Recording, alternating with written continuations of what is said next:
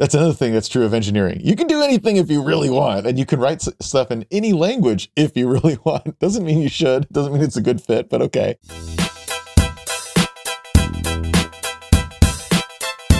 Welcome to Screaming in the Cloud. I'm Corey Quinn. Periodically, I will have people from a variety of different companies doing different things for different reasons come on the podcast. Every once in a while, I like to track down, okay, who's a vendor that I've used a lot of and often don't necessarily think about. And when I started framing it that way, today's guest became relatively obvious. Uh, Jason Cohen is the founder of WP Engine. Jason, thanks for joining me. It's great to be here. I have a painful history with running websites at, at even small scale, then medium scale, then large scale. And WordPress has been sort of a thing that has taken over the world. In, it felt like the late 90s. Now there's still a disgusting percentage of the world that runs on top of WordPress. I've run it myself. It was a terrific demo app for teaching people how to use Puppet. It, it has, it touches a whole bunch of different things. And when it came time to decide, oh, I should have a website that probably is useful to work with, the first iteration that I went with personally was building my own custom thing on serverless. This was a bad idea. When it became an actual real business, I went with WordPress and figured, ah, who can I wind up finding to run this for me that isn't me? And the answer was WP Engine pretty quickly. So I've been your customer for something like seven years now. Thanks for not going down that during that time. It's appreciated. Oh, well, uh, sure. Thanks for giving us money. That's that's what we like. yeah, I mean WordPress currently powers 43% of every domain on earth which, as you say, is a staggering and unbelievable number. But there's many different data sources who all point to that. And uh, yeah, it's it, it's because it's open. It's because there's a community. It's because I think it is true that once you have some some success and momentum there, it builds on it because people know it, and then they build another site, just like you said. And so there's also a big set of uh, design agencies that use WordPress. So they are almost essentially like a Salesforce for WordPress. WordPress is free, so that's in quotes. But you know, hey, if you're going to build your agency or freelancing business off of it, clearly you're going to advocate for that. So I think you have this set of things like that which made it so successful. Even 14 years ago, when I started WP Engine, WordPress was already 11 or 12 percent of the web, which is already kind of infinity for a new company to be able to sell to a tenth of the web. That's huge. And so, yeah, it's only grown from there, which is hard to believe people love to talk smack about it in engineering circles. It, it's PHP. Who wants to work in PHP? Great. Cool. I don't want to think about PHP. I don't have to. I care about the content. What the technology stack that powers my website is, is never going to be a, dis- a, determining factor in did my company succeed or not from where I sit. Yeah. But he- here's the thing. Engineers hate whatever is popular. Like whenever the language becomes too popular, then everyone hates it. So like at first Java was cool because it was new and weird, even though it's slow and actually kind of bad. Then Java became the most popular language and everyone hates Java. Okay. I mean, it, you just hate whatever it is that it, whatever bug tracking system you use, you hate it. Like almost guarantee you hate it. Okay. I, I just feel like this is this is the standard thing that we do. Also, there's there's a general thing in engineering where it's not necessarily the highest quality best thing that wins. There's other factors like it being easy to try, easy to troubleshoot, easy to understand, easy to dig in under the covers, and so forth. So you have things like open source projects that have all those attributes. And are they as good as some commercial things? In many ways, no, but it has those attributes, so it wins anyways. WordPress has all of these things because it's open source and it's easy and it's accessible for lots of people to use it, and so on and so forth. There's an old article called Worse is Better uh, on this. And so it shows stuff like some of these uh, text formats for for moving stuff around. It's inefficient. Like we should use other formats. Like I know, but the thing with text is you can write it, you can read it, you can look at it in your packet dumping stuff. You can you can mess with it easily. You can use grep. You can dump it to a log, and all that other stuff is harder. And so, right, so it's worse, but it's better because it's more accessible. It's more you know da da da. It's more observable and so forth. So I feel like there's a lot of things, and then when those things become popular for good reason, because those other attributes are good, engineers like to say, I hate it because, and then they list those other types of attributes. And they're not wrong that those other attributes are missing or, or, or not optimized for. But uh, I just feel like this is very common in many things in engineering. So it doesn't bother me. In fact, maybe it means you're winning. For me, the big reason to go WordPress is not because I have some deep seated love affair with it. If anything, just the opposite. Uh, before they wound up dying slash being absorbed by Media Temple, I worked on large scale hosted WordPress at Media Temple for about a year, year and a half.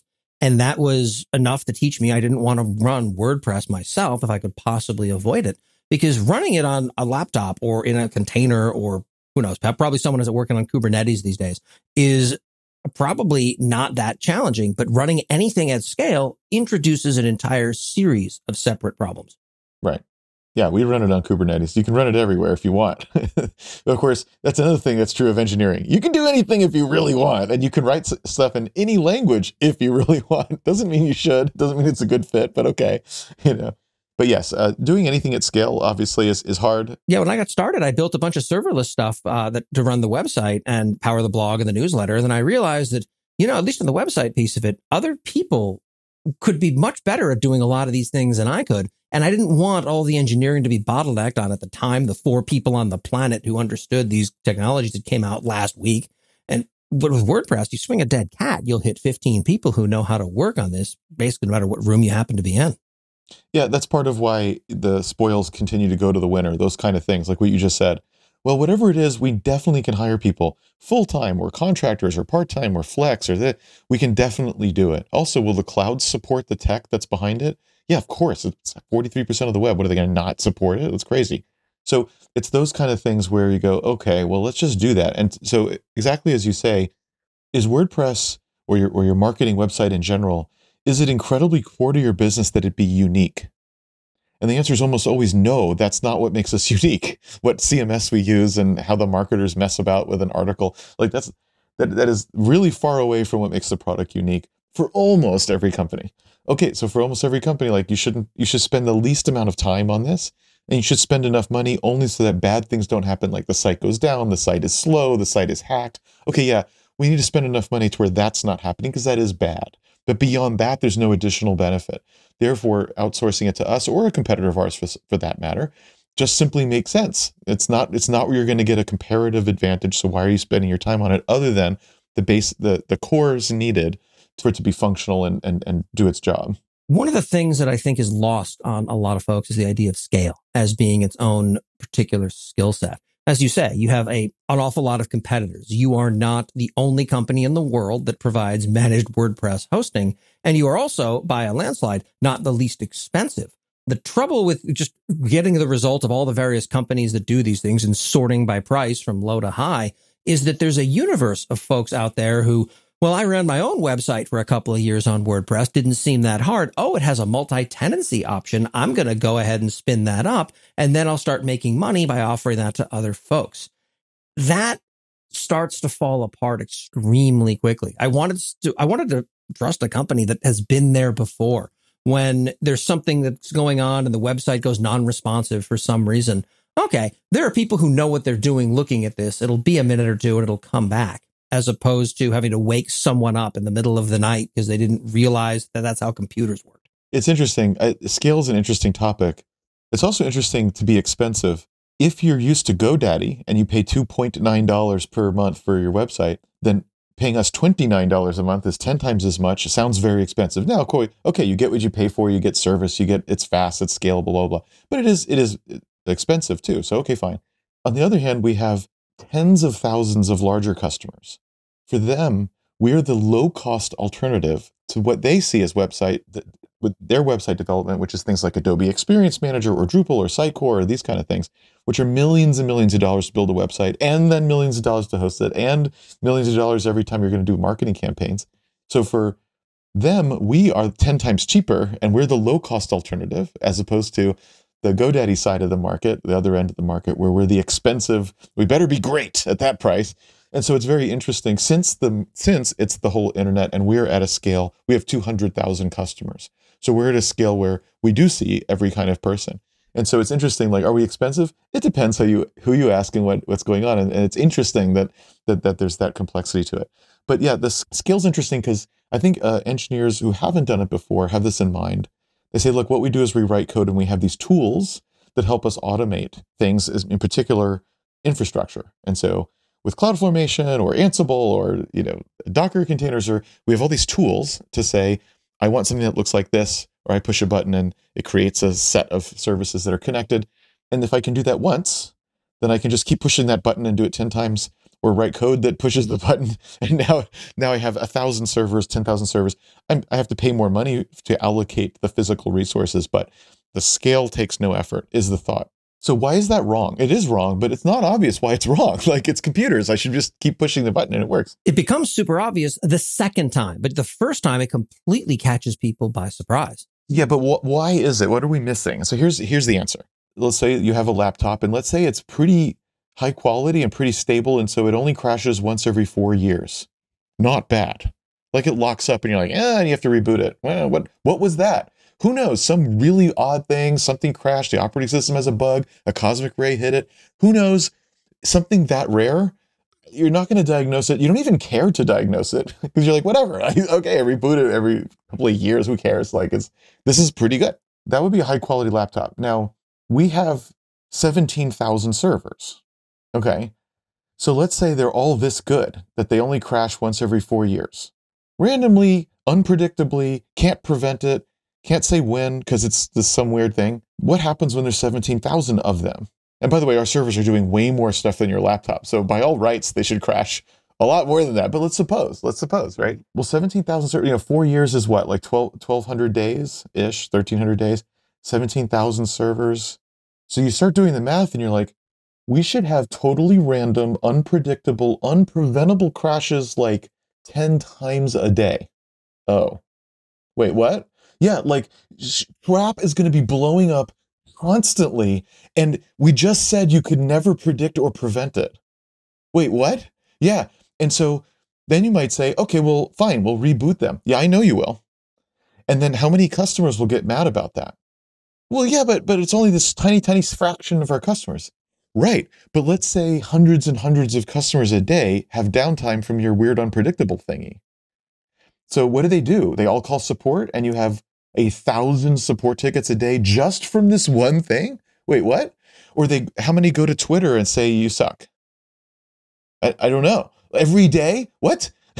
Very few people take social media to say good things about companies, but something goes wrong. Oh, it's all over the place. The best outage detector I've ever found. But we just said we just agree we just agreed. Well, we didn't agree, but I'm just I'm pretending like you're agreeing. that like like this is a totally normal and, and expected like we could be the greatest ever and like this is just going to happen so how do you summarize that? that that's the story that shows why it is in fact true and you go oh okay so i summarize that by saying rare things become common rare being hard to detect hard to prevent hard to mm-mm-mm, and they become common automatically simply because there's a lot of them so if you roll dice enough then things happen right kind of like million monkeys sort of thought we also see tens of billions of web requests per day across our platform.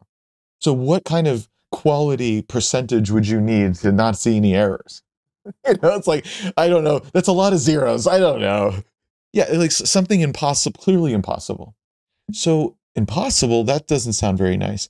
Now, a couple of things to take away. One is, okay, so when we talk about quality, it's just a whole other level by which I mean orders of magnitude different, really, really different. So, is that going to make us have very different development processes and procedures and what does testing mean and and and it, blah blah blah blah blah yes it means it means those are going to have to be quite different not because small companies are dumb the small companies would actually be dumb if they implemented all that heavyweight process while they're small that's wrong too because that's not a problem for you right now but if you're at scale it is and so the big companies that do all that stuff that's not dumb it's mandatory because everything's multiplied by powers of 10. And so things appear that were there. You just didn't see them often enough to do anything about it, rightly so. So yeah, your processes have to get better because you do need more, you know, percentages of, of quality or however you'd like to measure, you know, different ways of measuring that. But uh, the other thing is, but it's never going to be perfect. And at sufficient scale, stuff's going to happen. And so you also this different mindset of, well, given that it's going to happen for sure, then what? oh, well, then our reaction time has to be faster. The reaction has to be automated. Remember, it's like this kind of meta second layer prevent, prevent, prevent, but knowing that prevention completely is impossible and scale means that that will be common, comma. Oh, what kinds of detect? So you start getting to these numbers like mean time to detect, mean time to recover, as opposed to how many incidents. Of course, you do both. You do both. But the, the number of incidents you want smaller and smaller as a percentage of everything. But smaller as a percentage of something that's growing, it's still an absolute number growing. And so you still need to know like, but do we detect and re- recover in like a minute or two versus an hour and it takes a human? That's a big difference. But it's a totally different question of, de- of detect, recover automatically than preventing it in the first place, which of course is quote unquote better. But if it's impossible for it to be good enough, so uh, in how you allocate your time or investment, you might say across these things, and then we haven't even gotten to security, which is a whole other thing and often hurts things like performance and uptime, et cetera. So that's another thing that can be at odds with scale is security. So I, I don't mean to overcomplicate it, but it just goes to show these are not not only things that you don't think about at first, you shouldn't think about it at first. It would be a waste of your time. It would be premature optimization.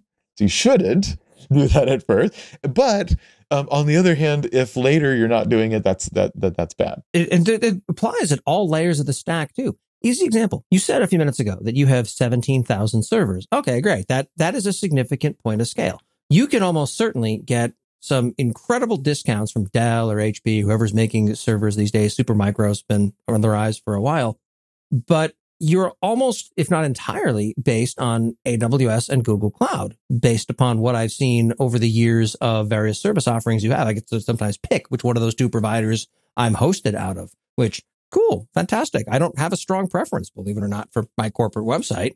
Why don't you run your own servers? You certainly have enough that people would say that people can do basic arithmetic and say, okay, if a server costs this much, a calculator tells me this much, and I, wow, that's a lot of money on instances. Do you just hate money? Uh, no, we love money, but Google and Amazon know that. And so they simply set their prices for us such that it would be more expensive to move to rebuild and move and manage ongoing management let's not forget it's not the price of the servers of course that's less it's not that it's managing them and as you say everything i just said cross apply to the physical layer so you have to be ready for that now I, but you could outsource that i know but all that's expense so when you take the total cost of all of that stuff and then you that then what google does is they know that and so they set their prices such that we go okay if we were to do that maybe we could save this much per month, but we would have to do this, that, and be this distraction. And is exactly what you just said about WordPress. It's how we feel about infrastructure.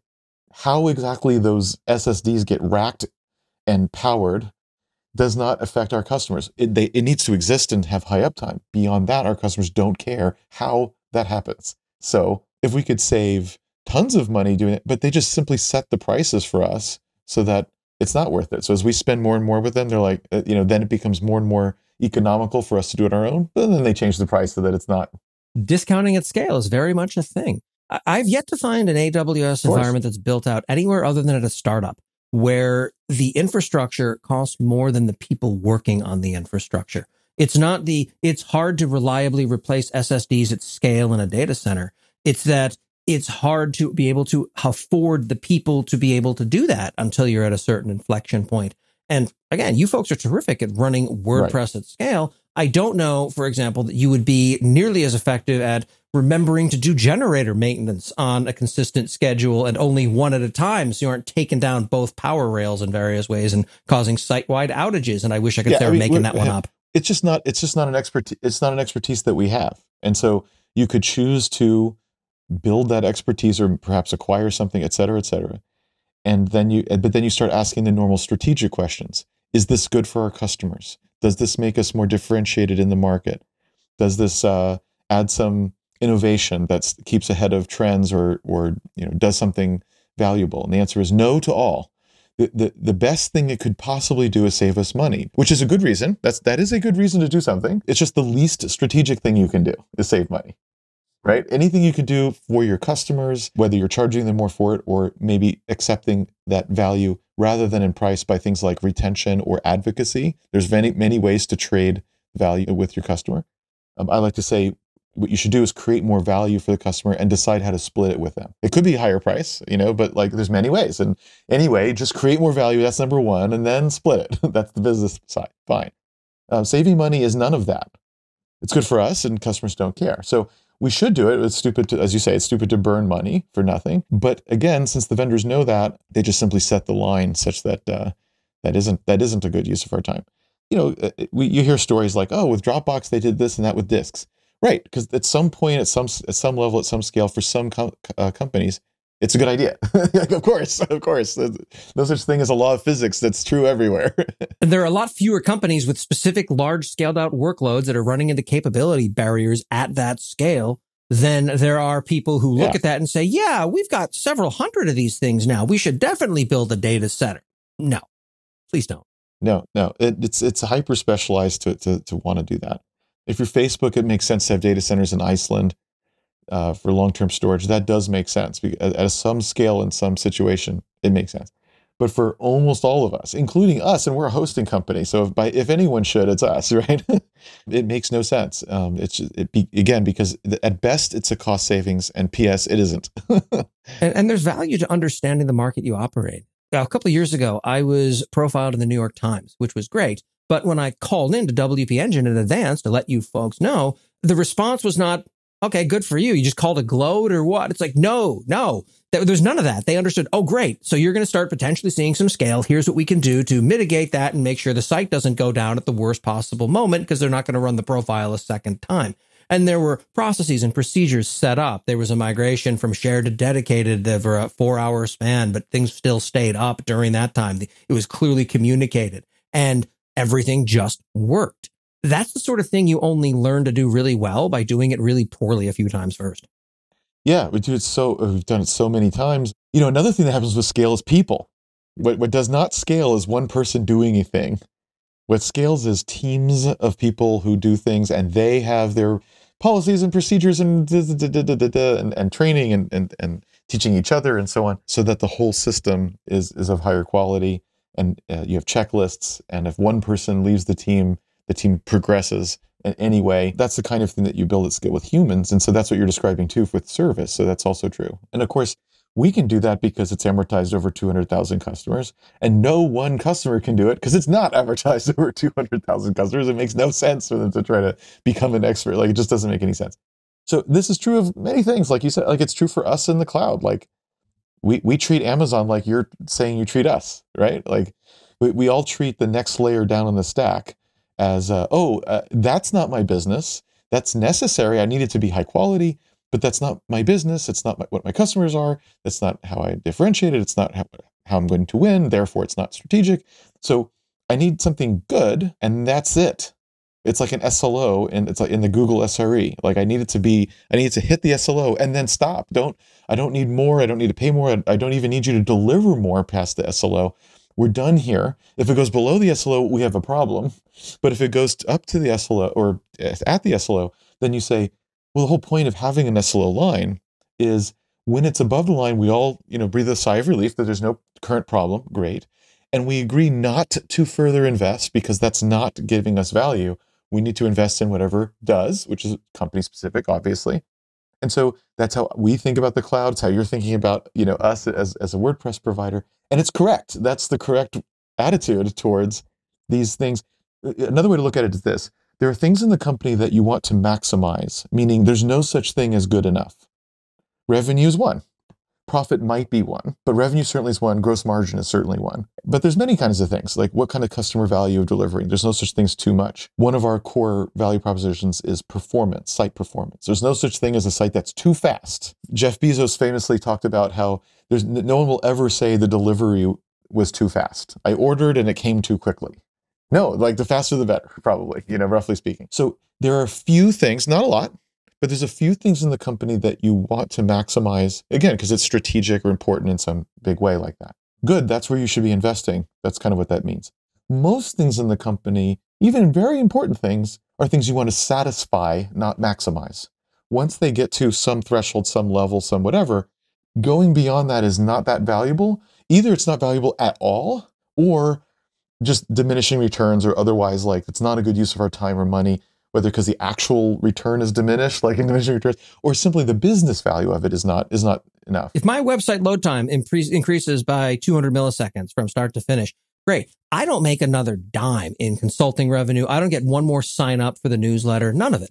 It's all like at this point, it, it, it checks a box. For me, one of the big values of going to you folks is that I come from a background where I used to run these things. I do have the engineering mind where it's fun. on some level. I want to set up WordPress and run it across this small cluster of things, but it adds zero value to my business and it's not what I need to focus on. So please take it off my plate. Exactly. Fun's a whole different thing, right? Like, oh, fun, fun. You can throw away everything I just said if you want to do fun.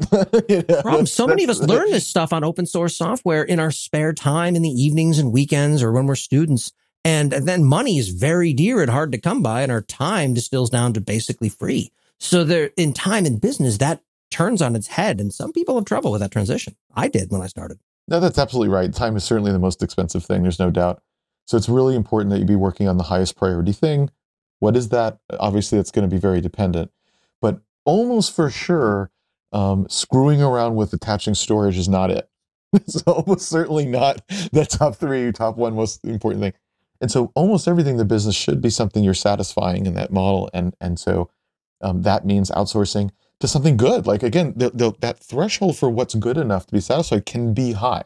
You can set that up really high and say, for example, website speed does matter to me because I rank higher in SEO if my site's faster. And that does equal more dollars at the end of the day for a media company or a e-commerce company or perhaps even for a consulting company. And there's a lot of data about e-commerce that shows that faster sites, more people check out, and even, and I don't know why this is, but even have higher average transaction sizes, like put more in the cart. I don't know why, but there's a lot of data, like lots of studies. Yeah, we definitely saw SEO when we did the analysis improve uh, when we improved uh, website speed by optimizing some things, and then we we checked that. We got it to a point where, yep, this this is awesome.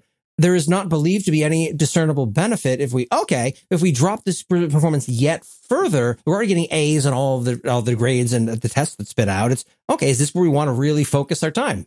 That's right. So once you get to that so so you can you might say i have a high bar for performance because i've seen what happens when it's not and it really does help our business when the performance is high so i have a high bar but then saying like i want to spend 10 times more to push it a slight bit is like well no not that like I'm, I'm setting a bar and maybe the bar is low for some things in the business. They're, they just need to exist, but not very good. Sometimes the bar is very high, no worries, but still it just needs to be satisfied and then we need to move on.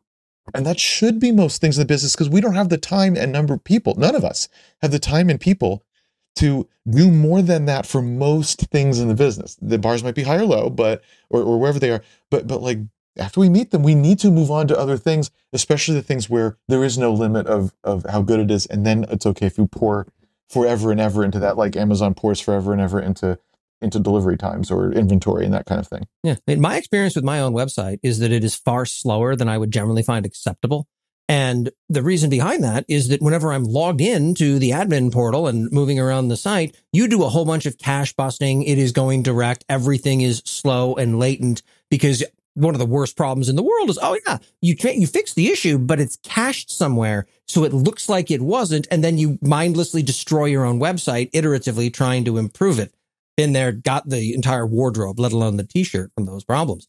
So it's like, yeah, this is slow. Why aren't people complaining? Wait, I'm logged in. Oh, okay. Just to test it, log out, boom, things are loading almost before I click and okay, good work. It's always fun when that catches you by surprise. Right, right, right, right. Uh, I have one last topic I want to get into a bit. You mentioned you were running WordPress entirely on top of Kubernetes.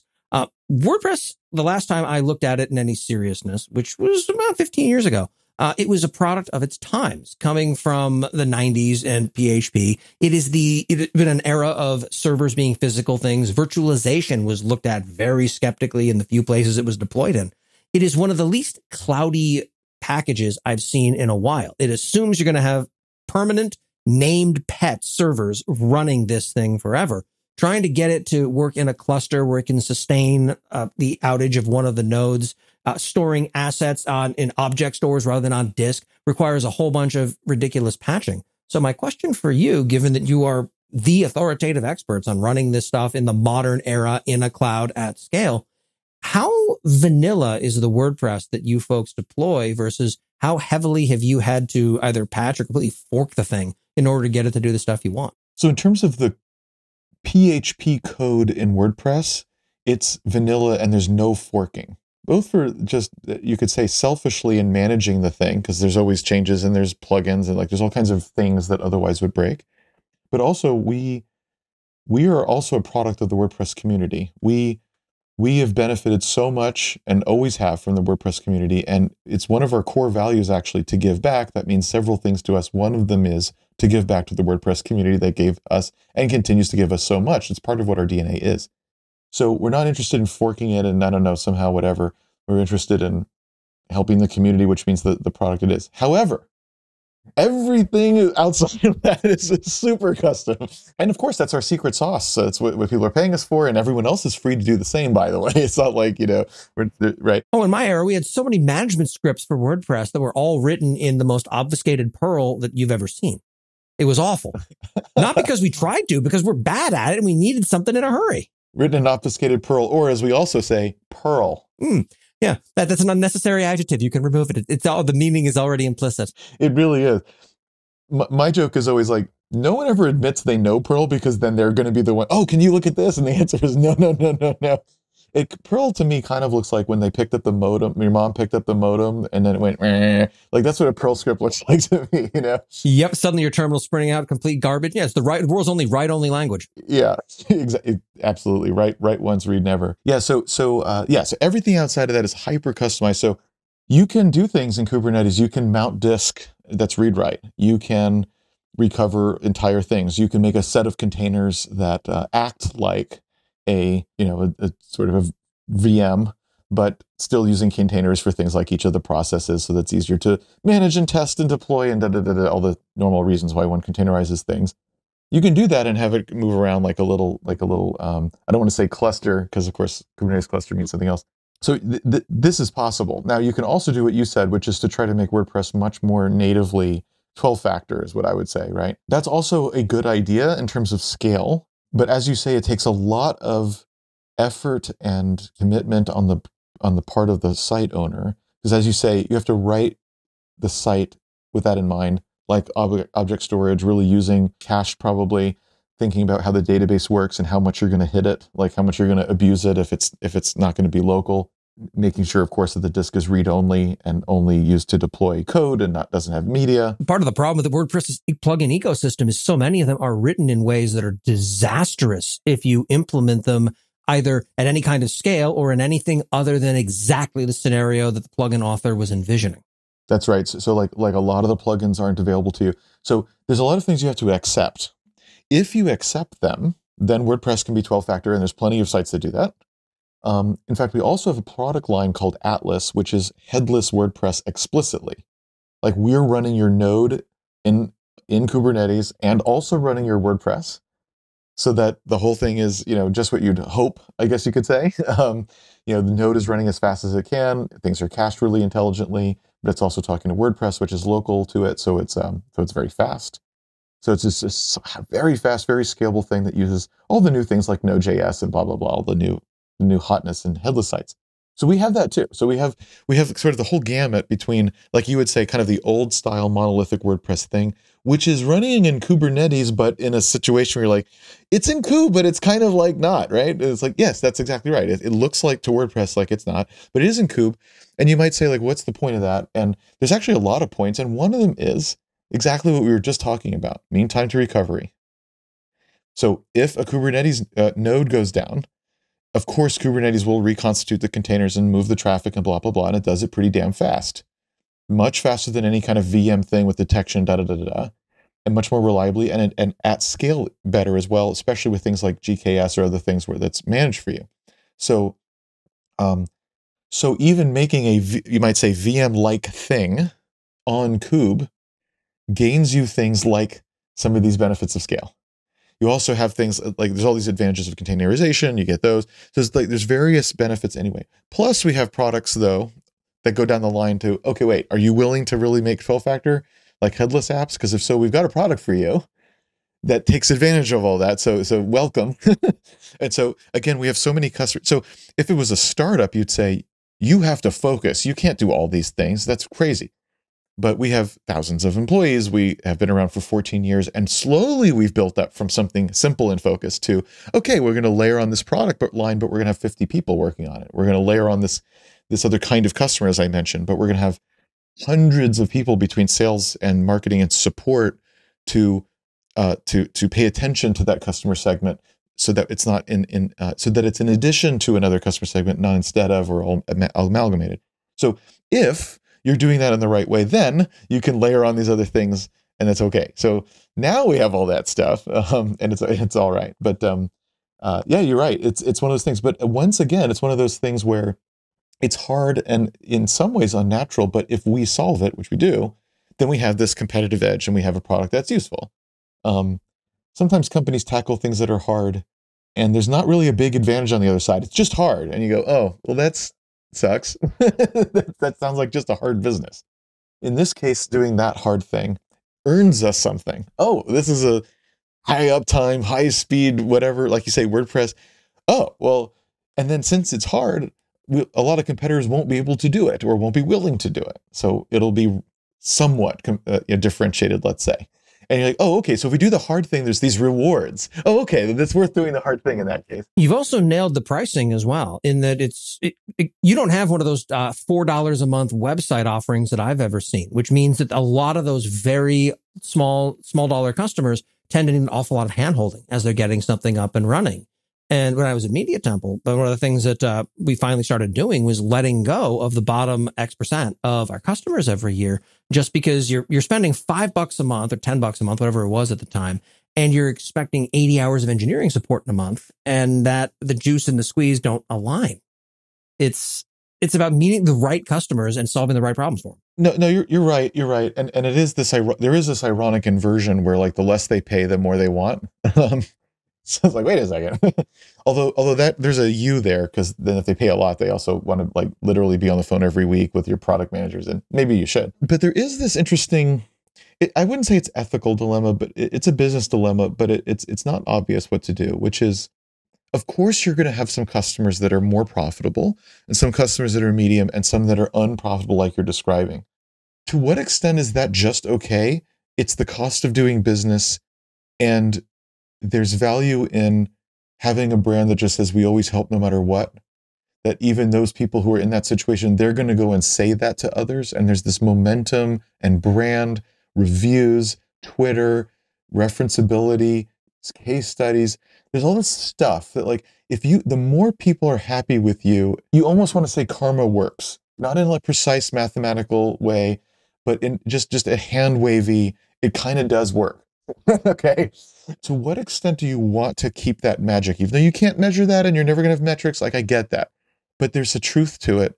To what extent is it like, look, they're unprofitable. Well, some are unprofitable. Now, if that gets too much, then we got a business model problem. Fair enough. Or maybe some are so crazy on the edge, like so, so, so crazy that no. Like, you know you've broken the argument now. You know that, that just has to be against our terms of service somehow. Like we got to write that into our aup or something like you just can't do that. Okay so there's maybe there's this extreme. Yeah when you have people go you're, you're humane about it you help them transition somewhere else but you make it clear that you're not able to serve them in the way they need to be served. And like even on the consulting side we we have the same policy. We found someone paying us $100 a month and they were the number one bandwidth user okay, well, you can't do that. You know, like like there's a limit to where it's like you can't do that. Right? And you're in cloud too, so bandwidth is not is very dear. It's very dear. It was it was not good. So do you want to trim the tail? Those cus- if you if you imagine a graph which we've made, and maybe you did too at Media Temple, of basically the, the customers buy their net profit of per customer, and and you uh, and of course there's this tail that's bad, like you say. Okay, so the absolute absolute worst ends of the tail you trim. Fine. And trim doesn't necessarily mean you, you make them quit. In the case of this customer, for example, they did something, they had been doing something really dumb with their site. We helped them fix it and they were, they could remain a customer. But you do have to fix this thing. You can't just, you know, so it, it, it, fix it, but that, maybe they have to leave, maybe not. Maybe they are willing to pay more, maybe they can fix it. So, okay. It's worth a conversation. It's a, it's a data point. It is not an answer in and of itself yeah, it's like, hey, we can't let this continue, but like, there's lots of ways forward here, kind of a thing, right? My the only ones I was glad to see leave were the ones that were just abusive to the support reps. That was that was awful. I, I, made a point to at least once a month be on the support floor taking calls myself, just because let, let's let's experience what the actual what other people are seeing and talk to customers. Imagine that; it helps with things. Yeah, I mean, abuse. You, you can't allow abuse. Uh, the way I look at it is, if you do, sometimes you do that in the name of we we love our customers, we care about our customers, customers never wrong, that kind of stuff. And while that's generally the right attitude, it's the right default attitude. Let's say, like in the absence of other information, yes. But do we love our employees less? Do we respect and trust and love and care about our employees less than our customers? Well, if you allow abuse, the answer is yes, you do. And I think the right way to do business is the answer is no. They're all people, and so we all we we none of them should be abused, neither our customers nor our employees. And so if you're abusing our employees, okay, we'll tell you, etc. But if you can't stop, that's not acceptable. I don't care what you're paying, I don't care what your profit margin is. You just can't do that because it's not like we don't care about our employees, you know. And so I, I think that's just the right attitude. That's just a good a good relationship. These are all human beings. Let's have a let's have a, a good more or less respectful, more or less safe, more or less professional relationship, right? I mean, that just seems like a good idea. Um, but but how much do you trim? So you could argue trim it all the way up to the people, you know, blah blah blah, and that's not a bad idea. Like that, you're you're you will have a profitable company for sure, and uh, nothing wrong with that, and um, fine. Uh, there's really nothing wrong with it. But I do think there's a magic there that you might want to be careful before you snip it, especially because I don't know that you can measure it. At least I don't know how.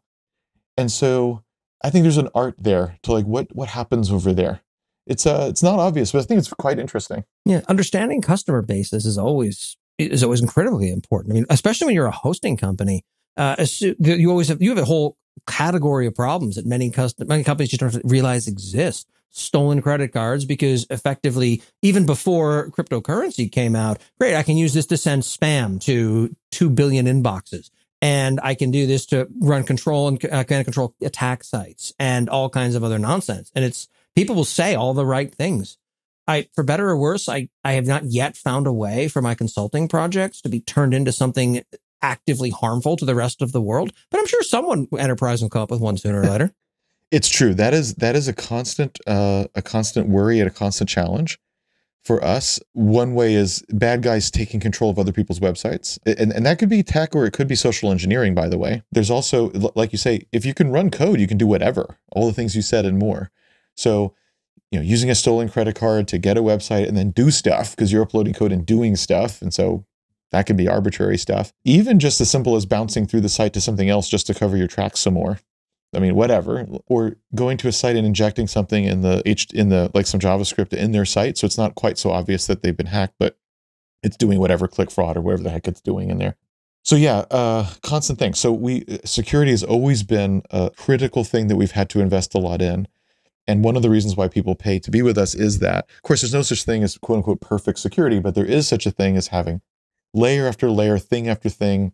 And, and you know either you do or don't do all that stuff so that you're at least not being negligent and you're doing as much as you can that's that is true so we have everything and you know we have a whole security department and we're SOC 2 and ISO, which is not exactly security, as any security person will tell you, but it does show that we're trying to be organized and, and thoughtful about our processes and access control and so on. But we do things like every year, everyone at the company has to go through a security training, including social engineering training, especially for sales and support, that, that it's easier for that to happen. And uh, of course, all of our code goes through all these reviews, and there's, and there's automation as well as humans on that. And I mean, just everywhere you look, there's like stacks of things that have to do with with, with security. So yeah, security is definitely like performance. There's no such thing as we're done. We did every, we've done all the things that needed to be secure. Hooray, we're finished.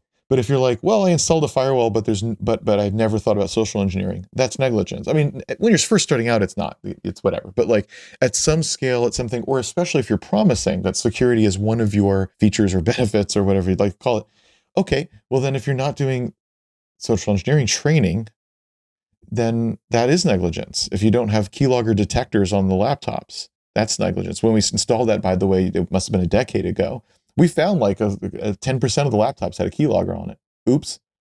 Like it's there. It's definitely like all this shit is happening for sure. No doubt. The only question is like, are you looking? Do you know to look? Are you doing something about it? So if you're doing a ton of stuff like we are, and there's still some crazy side route where this thing happened, it's like, right. I mean, that's not good. We want to do something about it, but it's not negligence. you know, there's a big difference, you know?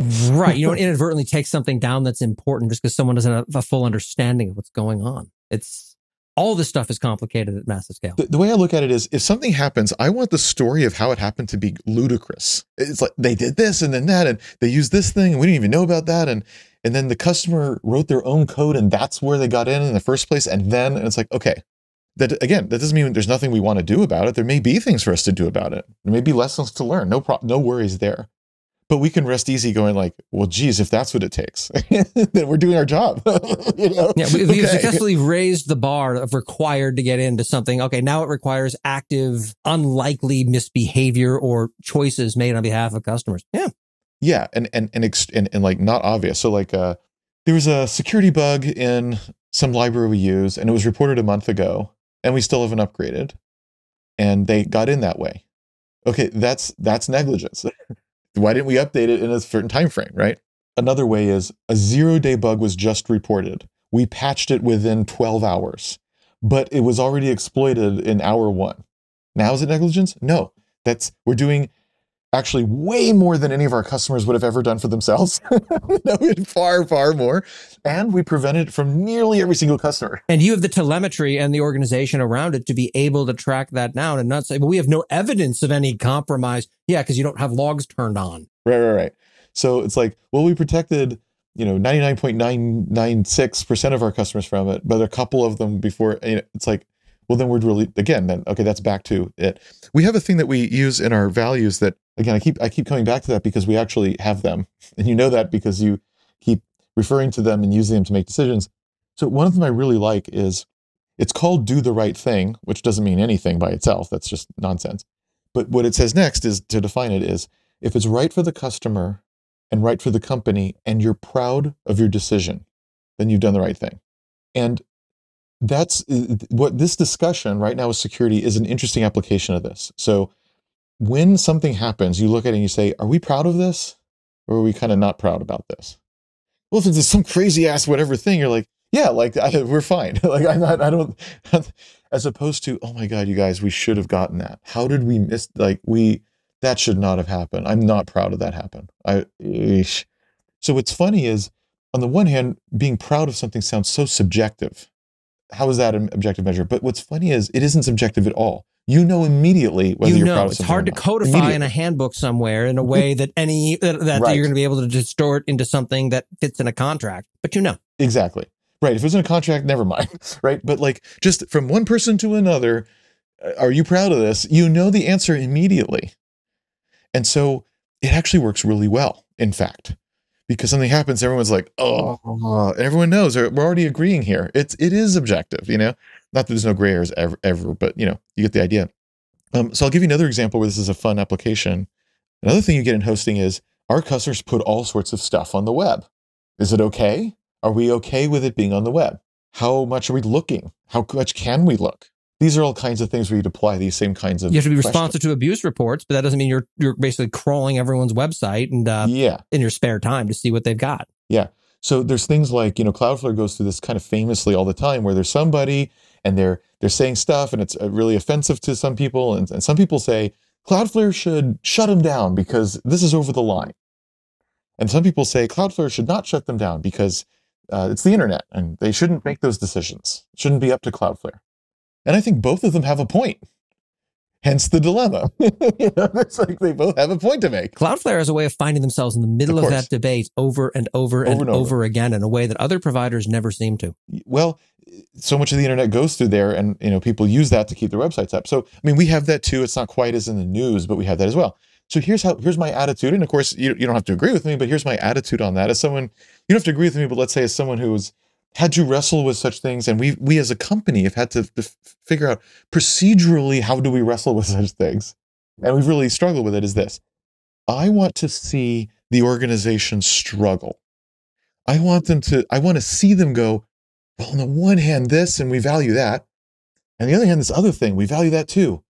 We, you know, we, a lot of us don't like what they say, but that, that can't be it, the right way to do it. And, and, and, uh, um, we do believe in free speech. We do believe in the internet, blah, blah, blah, blah. And, and, and that makes sense. And yeah, who are we to make that decision? And yet we do have to make the decision because we're here. We do have that. And yet, yeah, should we even? And well, we have this in our terms of service and maybe we should invoke it.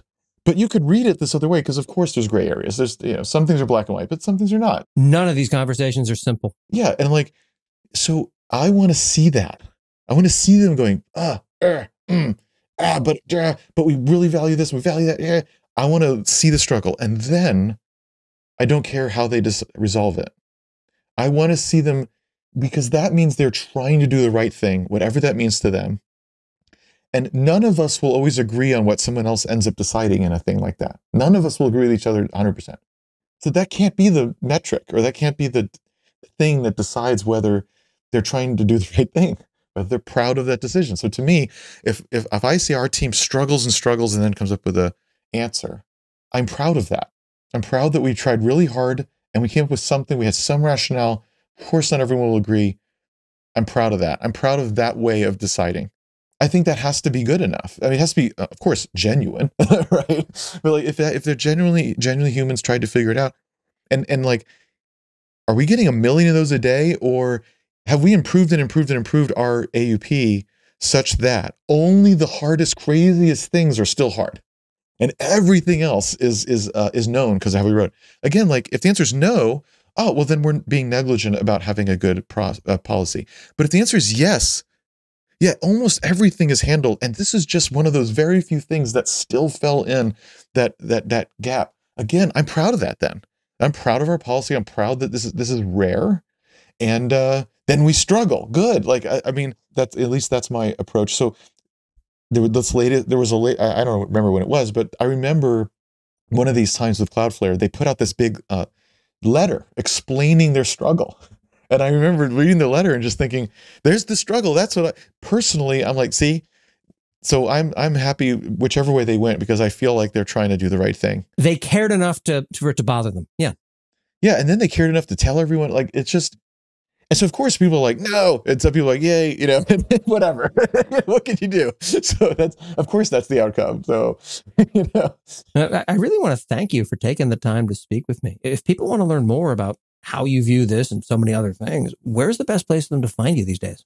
Sure. So for me personally, it's asmartbear.com, like the animal. We both like animals, I guess.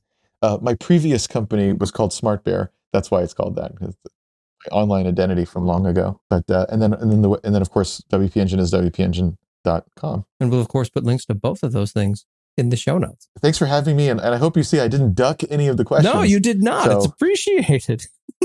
Thanks again for agreeing to do this. I really appreciate you taking the time. It was fun. Great topics. Jason Cohen, founder of WP Engine. I'm cloud economist Corey Quinn, and this is Screaming in the Cloud. If you enjoyed this podcast, please leave a five star review on your podcast platform of choice. Whereas if you hated this podcast, please leave a five star review on your podcast platform of choice, along with an angry, insulting comment that won't get published correctly because your platform of choice decided to run its own WordPress instance instead.